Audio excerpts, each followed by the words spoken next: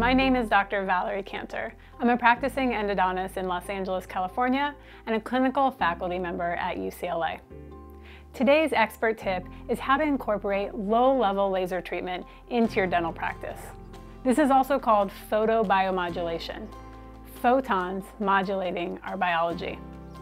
When the light energy hits our cells, it creates a cascade of reactions that promote healing, decrease pain, decrease inflammation, and increase lymphatic drainage, which is so important for all of the dental procedures that we do on a daily basis.